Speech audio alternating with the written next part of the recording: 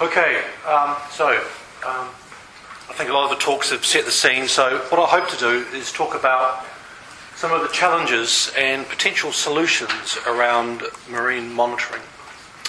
And here are the credits because um, though I'm from the National Oceanography Centre, there is a lot of work going around at the moment looking at um, what might happen if you had CCS leakage uh, and how do we actually go about doing that. So the bottom half of the uh, slide shows a lot of uh, institutes that we're working with, and then the top uh, shows a number of large EU and UK projects that are dealing around the issue of ecosystem impact and how we would go around monitoring CCS if it leaks uh, through the seafloor.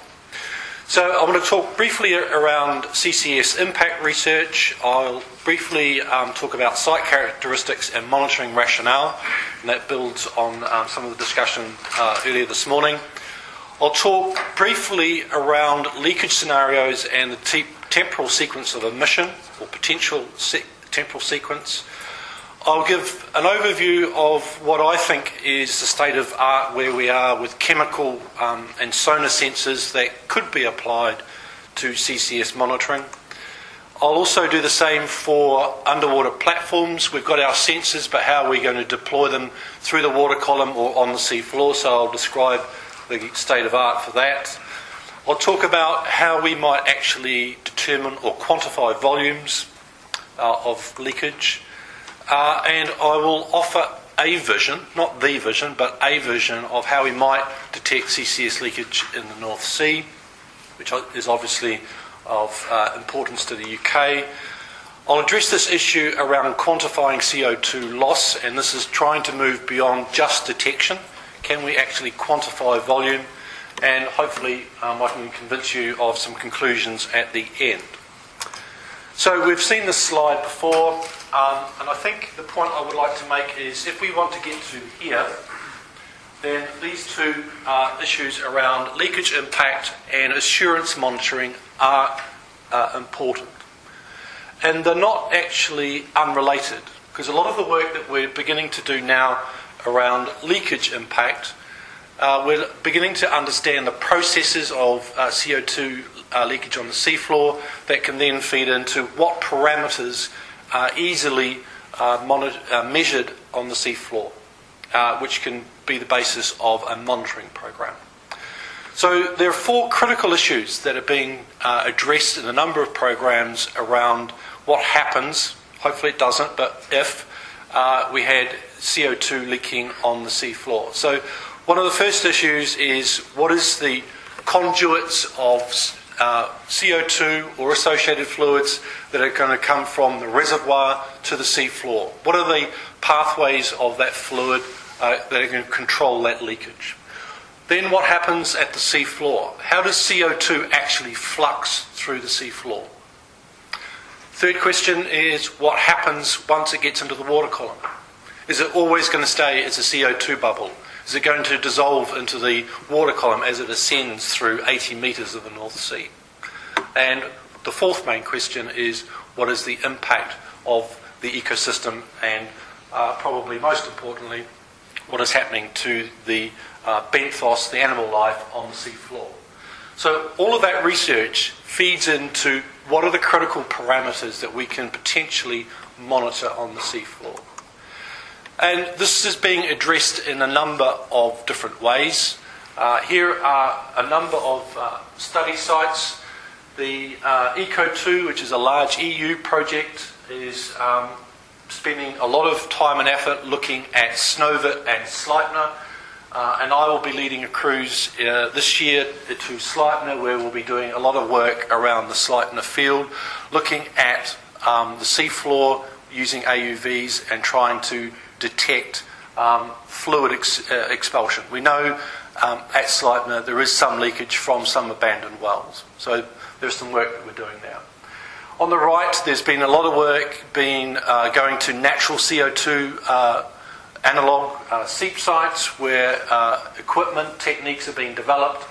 And on the left is um, a novel experiment that starts next week in uh, Scotland where a consortium of UK uh, research institutes have drilled something like 300 metres from shore out beneath a Scottish loch, and we're going to release CO2 for a period of 30 days uh, through about uh, 15 metres of sediment and then into the water column.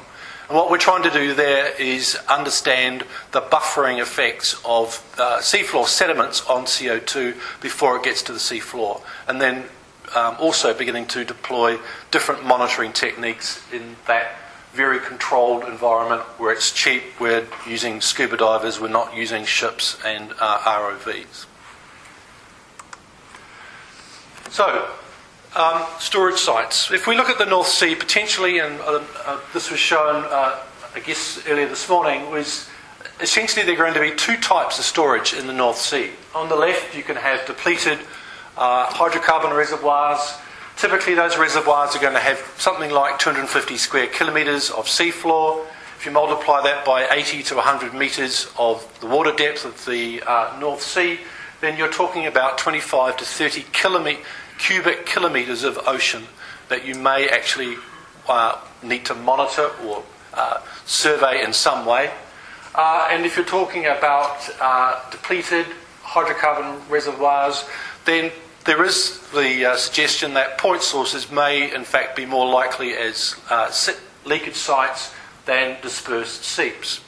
If we go to the other extreme, or the other end member, we're talking about saline aquifers, far larger in scale, at least one order of magnitude uh, greater in sea floor, greater magnitude of um, volume of ocean, and uh, they haven't been punctured by wells. Uh, and the, argument could be that point uh, and dispersed uh, seep sources are equally likely.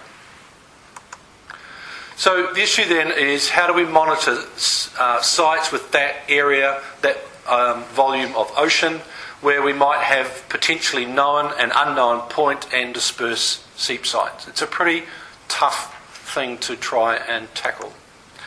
And again, it's a point that was made this morning. There might be three rationale for why you want to do uh, marine monitoring. Obviously, there's baseline monitoring prior to injection, seafloor and ocean detection, uh, and then the issue of quantification. If CO2 is coming out of these stores, where is the best place to quantify that leakage? And hopefully, I can um, demonstrate to you that the seafloor is probably uh, the more tractable place to solve that question. And again, uh, we're back to the point source. We might have a range of discharges that are point source, high discharge, right through to uh, dispersed uh, seeps, and they are low discharge um, leakages. So let's uh, look at potentially uh, the North Sea, uh, and let's for the moment just ignore the text on the right because I want to talk you through this um, this profile through the sea floor. Um, we know from the North Sea that obviously the sediments are stratified. There is a sequence of sediments. We have a storage reservoir here. We have some form of seal. Then we have an overlying sequence of sediments. Um, and then near the seafloor, we'll have some unconsolidated sediments. So that's fine. There is a stratigraphy there of rock layers. There's also a stratigraphy of formation fluids, though, in those sediments. So, conceivably, with our C- CCS storage site, we have CO2 in the store. We may well have other formation fluids in the overlying sediments, and certainly in the uppermost sediments, there's upper 30 to 50 metres of sediments which are uncemented, unlithified, un- unconsolidated. They will have reducing uh, f- fluids in them. So the argument is if we are going to have leakage, and let's assume that we have a fault as the conduit for getting uh, CO2 out of the store, the first thing out of the store is not going to be CO2 we would uh, hypothesize that there are, in fact, going to be precursory fluids that are going to come out of these uh, CO2 stores if they, if they leak. So the sequence is that uh, CO2 is going to leak from the store, that's going to buoyantly rise, that is going to buoyantly drive whatever fluids are in this overlying sediments, and they are in turn going to buoyantly drive these pore, reducing pore fluids in the uppermost sediments. So the sequence might be that you have anoxic fluids coming out first, you might have a saline fluid that's sourced from this area second, and you might finally have CO2 uh, coming out last. So there might be indications of some precursory fluids. Um, and I think the other point I would make is that it is more tractable to uh, establish the, uh, the flux of CO2 out of these store sites at the sea floor than down here. Down here, you're going to have to invert a lot of uh, geophysics, uh, whether it be seismic velocities, uh, electrical resistivity, whatever it might be. There is going to be some inversion. Some assumptions are going to be, have to be made in uh, calculating any loss. Whereas at the seafloor, you can actually directly measure it. So it's a more tractable uh, boundary from which to make your measurement. So, how do we actually detect um, these things? In the North Sea, at those depths, you may well have, uh, if there is CO2 loss, it may well be coming out as a gas phase and as a dissolved phase. So, gas phase, we can use physical techniques, and there is work around passive and active acoustic bubble detection that uh, would determine free gas, gas bubbles. Uh, we know that we can uh, use hydrophones that detect bubble oscillation and expansion, while active sonar systems will record backscattering from gas bubbles. And recently, we've now um, beginning to understand if we can do that across a number of sonar frequencies, we can actually invert that data to get the bubble size uh, population. So not not only can we detect the bubbles, we can potentially, in fact, work out the volume of gas in that bubbles, in those bubbles, though the bubbles may, in fact, uh, go over a range of sizes. If we're talking about chemical detection, we're talking about the dissolve phase. Uh, here we're talking about chemical techniques that are going to measure, uh, obviously, increase uh, acidity, de- decrease in pH, uh, dissolve uh, manganese, iron, all of those things that are going to be uh, unique um, identifiers of fluids that are going to coming out of the seafloor. So the signature of these fluids is actually quite unique. So for the reduced uh, unconsolidated sediment pore fluids, these are the ones that are going to come out first.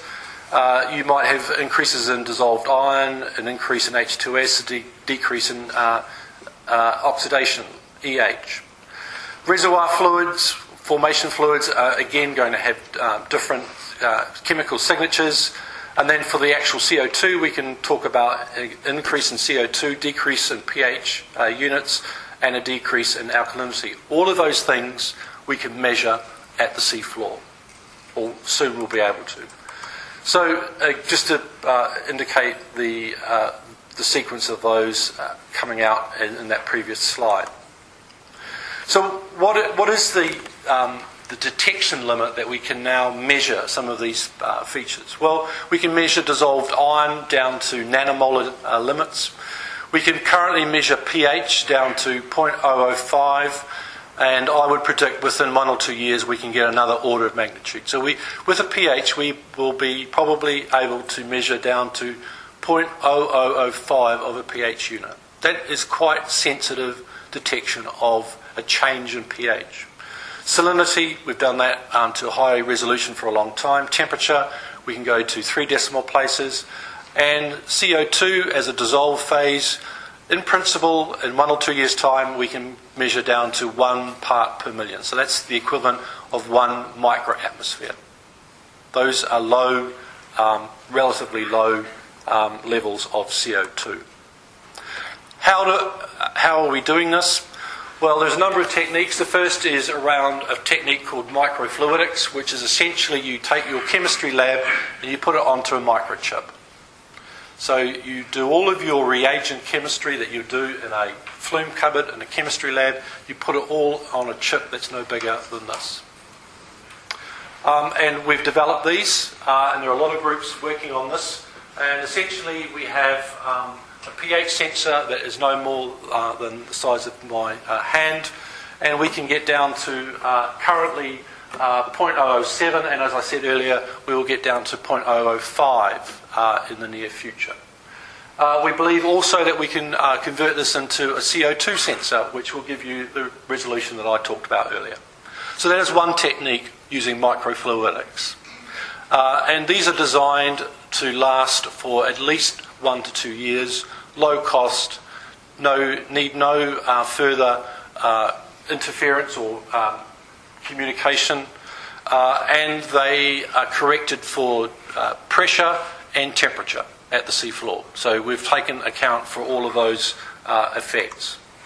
Another technique is using optodes where we have uh, fluorescence of a foil uh, and that foil is constructed in such a way that it is sensitive to pH or CO2 uh, and again um, it is built uh, for long-term uh, sensing developments. And here is a pH um, optode sensor. Same thing for CO2, again, uh, a different foil on an optode. We're fluorescing uh, that optode. The foil responds to different concentrations of CO2. Um, and we've got this uh, sensor to a technology readiness level of 3. So things are developing around CO2 sensors and pH sensors. There is also another technique where we have solid state sensors where essentially you uh, create a synthetic polymer in this case, it's a methane sensor.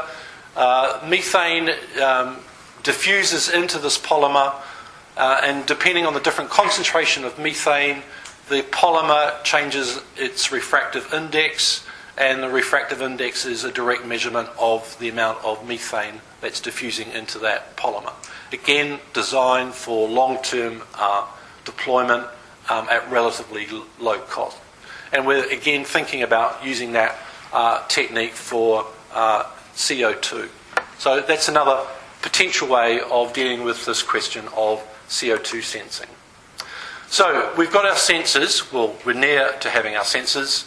How are we going to deploy um, this, uh, these sensors to the seafloor? Well, there's potentially two ways of doing that. The first is um, using uh, autonomous underwater vehicles, AUVs. Uh, currently, these typically have deployments for uh, one or two de- days, uh, depending on how much uh, equipment you have on them and whether you're actively driving uh, sensors. That is a typical deployment is two days. Uh, and we also have deployments for seafloor landers. So if we detect a leak and we want to quantify bubbles, as an example, we can have now seafloor landers that can be deployed up for um, a year in length. Uh, and here is a, a, a, lander that has been deployed uh, in the Arctic in October 2010. Uh, we recover it in 2011 and it's still sitting there in 2012. And in fact, this particular lander will be deployed this coming summer at Sleipner for a year. So we'll have a range of uh, sensors on there measuring the physical properties of the water column and the chemical properties of uh, the waters around Sleipner. Uh, and this is the lander also that uh, may well be used in a yet to be decided EU project um, and may well be um, deployed at Goldeneye for a year as well as a large uh, EU project. So we are developing ways of putting sensors on the seafloor or deploying them uh, through the water column. And a new uh, development that we're working on is long range AUVs. So I talked about AUVs that can only uh, last for two days because of battery life. Here is a new a- AUV that is um, halfway through a series of trials um, and that will be operational in about six months. And that AUV will allow uh, 6,000 kilometres of uh, track or six month deployment. So, tip, this is potentially a way of actually monitoring a storage site uh, by going out once at the beginning of six months and picking this instrument up at, at, the end of six months. This will do its own thing for six months without any um, ship requirements. It will have all of its own navigation uh, and intelligence about making decisions. It can, it's even capable of sitting on the seafloor for two months, waking itself up, and then carrying on um, doing some other work. So that will be operational uh, in about six months' time. So, I've talked about um, sensors. Are we actually marrying these two things together? Um, and the short answer is yes. So, here is uh, the pH sensor, which we have uh, at 0.005 at near sea uh, level. And here you can see a track of uh, surface pH differences around the UK uh, based on a ship survey. So, here is a high resolution uh, pH sensor being deployed on a ship.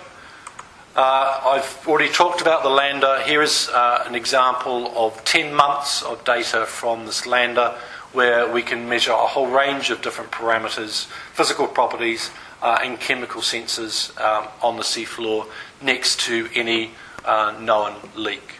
Uh, and the next stage is to put uh, sonar systems into that lander so that we can actually image bubbles. And here is another example where we have used an AUV, and in this case we have detected a hydrothermal plume uh, with uh, an AUV survey, and we're using an EH sensor in this case to detect a hydrothermal plume coming out of the seafloor. And that um, is an example of the marrying up of an AUV and a chemical sensor. I have talked already about um, active and passive uh, sonar systems. Obviously, you can put um, those active and passive sonar systems onto ships. You can potentially put them into AUVs, and that is something that we're looking at at the moment, is putting uh, passive um, sonar acquisition into an AUV, and you can deploy a whole series of instruments on the seafloor around seep sites or on your pipe network to detect uh, bubbles. Um, and things have evolved in the last six months in this field actually because what we can now demonstrated is that we can actually invert uh, multi-frequency echo sounder data into bubble size populations. Uh, and here's an example from uh, the Arctic. This is not CO2, this is methane, but the principle still holds, where we have a, uh, a bubble plume uh, which is acoustically imaged at 38 kilohertz, uh, and is same bubble plume is imaged at 120 kilohertz. So if we could have a multi-frequency um, echo sounder looking at that particular uh, bubble plume, then potentially we can actually measure the whole range of bubble sizes and invert the bubble size population. If we know the ascent rate of the bubbles, we can work out a flux rate. We can work out uh, the flux rate of gas bubbles um, coming off the seafloor. So, what can we detect? Well, one way of uh, working this through is um, looking at what the chemistry would be inside a hydrodynamic model. So, the, issue, what I'm trying to do here is uh, demonstrate what can we detect um, at the moment. So, if we look at this three uh, coordinate diagram, if we assume that there is a CO2 leak at the origin here and we have flux rate is a uh, log scale going in this direction um, in litres per day, and then we have a distance from the source in kilometres going from 0.001 out to some other distance in log scale. If we have, um, we could, using this diagram, we could actually work out the the change in pH depending on the flux rate and the distance from the source. So, this is a theoretical model of what the pH would do depending on differences of the flux rate uh, and different distances away from that uh, leak, and this is a concentration of pH. And currently, we've got pH sensors down here. So, potentially, we can actually measure uh, a sizable uh, fraction of any detection. And the trick here is to embed um, reactive carbonate chemistry. CO2 is a, obviously a very reactive uh, compound, and we can uh, immerse that into a hydrodynamic model and work out the dispersion and mixing of that um, pH. We do the same thing for CO2, we can do the same thing for dissolved in, in organics, and we can do the same thing for sound. How far away do, from a bubble um, do we have to be at a known flux rate before we can detect it on a scale of decibels? It's a, we, can, we can work that out. We haven't yet, but we can. So, using that sort of um, uh, modelling, you could say that uh, we need, if we want to detect uh, 10 litres per day, we need to be within one kilometre of a leak. So, using this forward modelling, we could then work out the line spacing that we would need for an AUV survey. We take our AUV, which is deployed for six months, and depending on the answers from here, we could have a line spacing of 200 metres apart for our AUV survey, and after six months, you would actually cover a significant area of a seafloor, detecting changes in pH, detecting changes in CO2, or detecting changes in uh, decibels. If, on the other hand, you said uh, on the basis of this modelling that we could actually uh, widen our spacing out to a kilometre of AU, AUV uh, track separation, then obviously you get a far larger area mapped. The point I'm trying to make here is the scales that I talked about at the beginning, yes, they are large, but here is a way of potentially mapping large areas of a seafloor and lowermost, lowermost parts of the water column to detect chemically uh, dissolved uh, CO2 and to acoustically detect uh, gas um, as uh, CO2. So, the conclusions. CCS sites with large spatial seafloor extent and overlying ocean volumes um, provide a monitoring challenge. We've, we, have we have heard this uh, repeatedly during the day. Um, you may well want to monitor for baseline studies, leakage detection, and flux emission quantification. We've heard all of the rationale for those. Um, CO2 leakage may have some precursory fluids. It may not be CO2 that comes out of these things first. Uh, and those precursory fluids do have uh, unique chemical signatures. Uh, marine sensors and underwater platform technology is developing um, to deploy long term point observing and remotely surveyed monitoring of critical uh, fluid parameters, uh, but we're not there yet. We're close, but not there yet. Um, seafloor and ocean monitoring can detect both dissolved phase and gas phase. We can do the former using chemistry, and we can do the latter using either passive or active sonar. But again, um, that is not yet commercially deployable, but uh, again, we are close. And both, chemi- both the chemistry and uh, sonar systems potentially uh, provide a way of uh, quantifying beyond just leakage. So we can not only can we uh, potentially de- detect leakage, we may well be able to uh, quantify the leakage.